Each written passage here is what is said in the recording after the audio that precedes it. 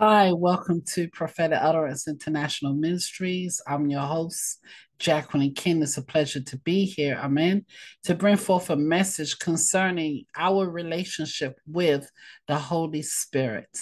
It's so important for us to have a relationship with the Father, the Son, and His Spirit, the Holy Spirit, because we need to know how to fellowship with the Father by understanding His Spirit.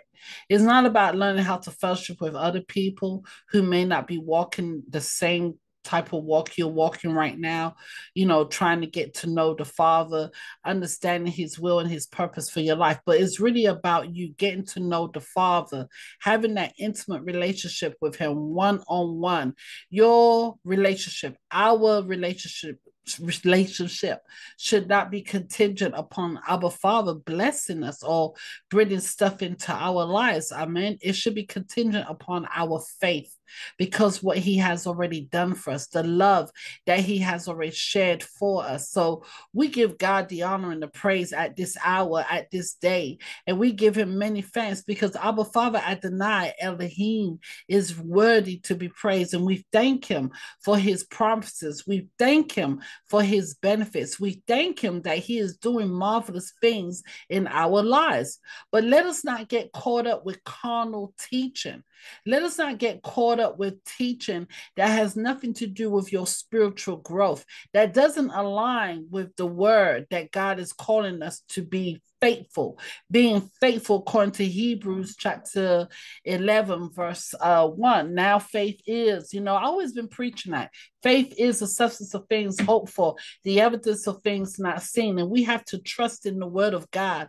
We have to understand the word of God has benefits, the word of God has healing, the word of God is abundance. Amen. And so much more. But we have to begin to understand that God has purpose for our lives.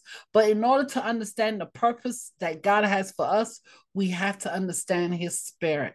You know, it's just like understanding the spirit of God is just like understanding his character. When you understand the characteristics of Heavenly Father, guess what? Then you will be able to press into those things that are spiritual. Why? Because the word of God say, be, be ye holy because I am holy. Father is spiritual. We are to worship him in spirit and in truth.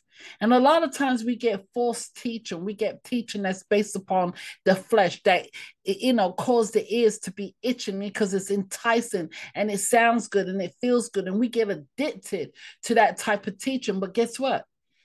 You haven't been delivered you're still walking in bondage you're still you're still being limited you're still being restricted the there's stagnation in your life you're being delayed obstacles are being placed in your life because you're listening to the wrong word. We all need to hear the word of God because there is truth in our Father's word. Amen. There is holiness in his word. And we need to know what that holiness is in our lives in order to do those things that is pleasing to the Father. Amen. So we must trust in Him. Amen. Put our faith in Him and put our trust in Him and lean not unto our own understanding. This is where we get confused.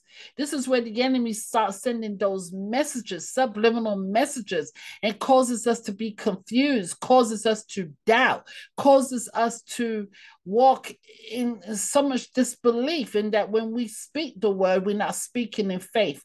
Now, faith we got to have that now faith because without faith, it's impossible to please Him. Amen. According to the word, uh, Hebrews chapter 11, verse 6. So, Father, we just thank you for this teaching concerning the Spirit, the Holy Spirit. Father, we thank you, Lord, that you are a merciful God, a loving God. Father, we thank you that the people will begin to seek you, Father God. Seek ye first the kingdom of God and his righteousness, and all these things shall be added unto you. Father, we just thank you right now for the favor that you are giving us in the name of Yeshua. We thank you for unmerited grace, uncommon favor, uncommon accomplishments in our lives, things that is not common to Amen. Father, we thank you in the name of Yeshua that you are our coverer.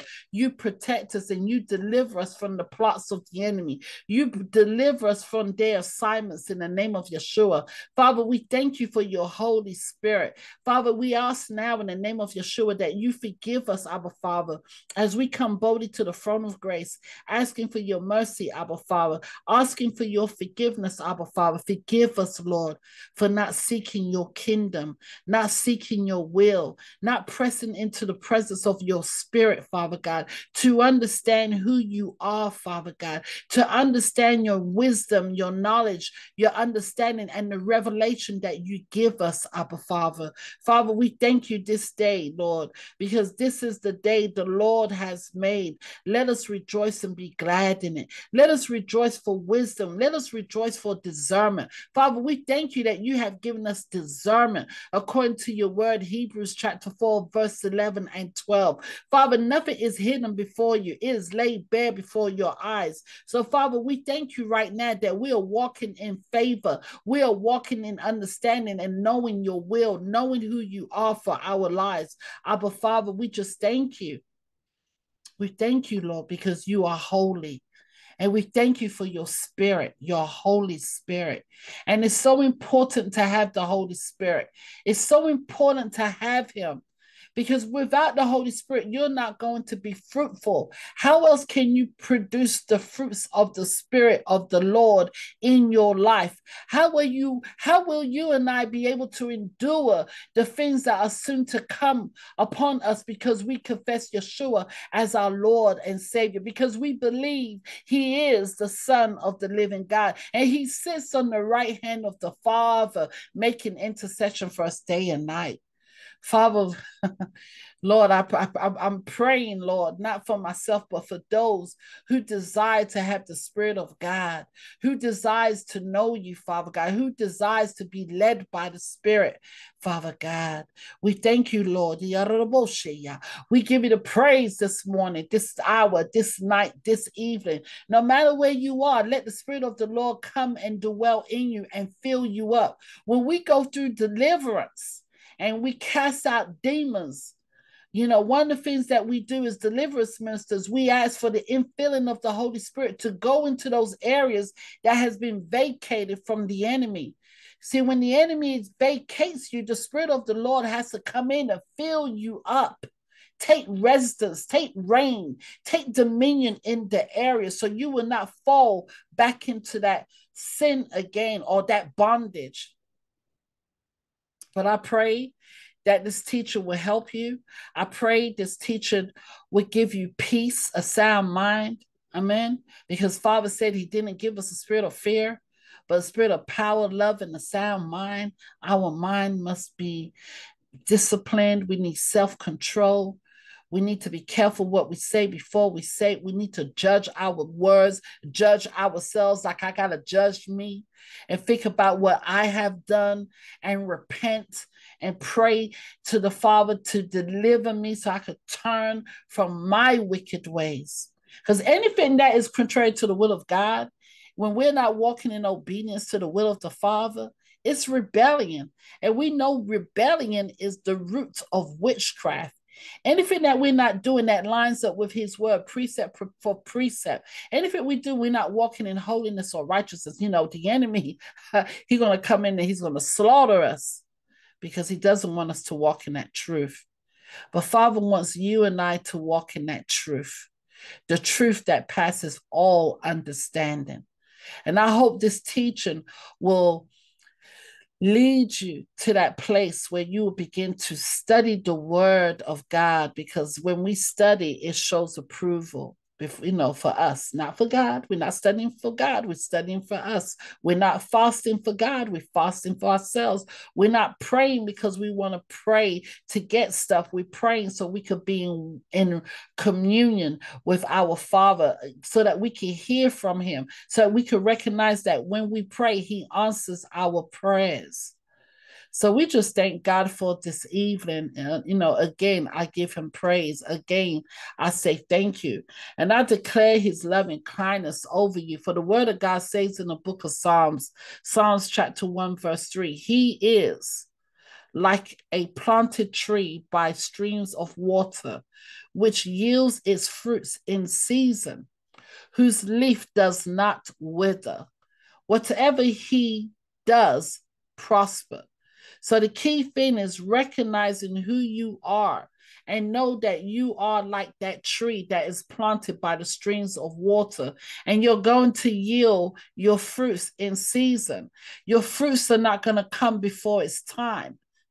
You're going to learn how to be steadfast and strong in the word of God and nor take counsel from the wicked, nor sit in the seats of the scorners. But whatever you do, you should be prospering. And when I say prospering, I'm not talking on the monetary, I'm talking about prosperous, healthy, productive lifestyle. Your family is prosperous. Everything is productive. Everything is bringing forth fruits of the Spirit in our lives, in our families' lives, because we're aligning ourselves with the word. We're being fruitful. Yay, God. So the word says in Psalms 5, verse 12, For surely, O Lord, you bless the righteous. You surround them with your favor as with shield. And it's like how I begun. I said, you know, Father, give us that uncommon favor. And Father's willing to give us that uncommon favor. Father's ready to give us what he already has done for us. It's already been done. It's accomplished. It's finished but we are crying out to Abba to continue to bring us in that place that's called favor and so much more. Favor is not the only thing Abba Father can do. But right now, we thank God that He surrounds us with His favor, with a shield. He is surrounding us. We thank God that He is our pillar of fire at night. He is our cloud by day. We thank God that He's leading us into that place where we need to be with Him because it's all about Him. It's all about faith and trust in Him. So, Father, we just thank you for this teaching, and I thank those who are listening. I pray that they will benefit from this teaching and whatever the Lord places upon your heart when you listen to this teaching, trust in the process of what He is saying. Pick up your Bible, pick up scriptures, listen to some teaching on YouTube, but judge the Bible say we are to test the spirit to know if they be of God, right? So every spirit that says, Lord, Lord, it may not be of God. So we have to trust them. So, Father, those who are listening for the first time, I pray, Lord, that they receive this word, that they will receive meat. Amen. Meat to fatten them up with the word. Father, I pray that they will accept Yeshua HaMashiach as their Lord and Savior and repent and turn from their wicked ways and learn to walk in the path of righteousness for your for for your name's sake. Amen. Yea, God. So, Father, we thank you that you are our deliverer. And we thank you, Father, you are our teacher, our counselor. You are our good shepherd. You're the shepherd that leads us in the path of righteousness for your name's sake. Father, you lead us and you guide guide us, Father, with your rod and your staff, Father God. Yea, God, we thank you, Lord, that you are our deliverer in the name of Yeshua. And I hope those of you who may not know Christ, that you will make that prayer, make it personal to him. Accept Yeshua HaMashiach, the name Jesus Christ, but his Hebrew name is Yeshua. And we thank him. We thank Yeshua. We thank him for giving himself willfully. Amen. they didn't take his life. they attacked him. And they they they persecuted him. And they beated him before they took him to Goliath, before they hung him on a tree. And the word of God says that he that hangs on a tree it, it, it is a curse. And Yeshua was hanging for the sin of this world, your sin and my sin. So if you believe that, thou shalt be saved. Amen.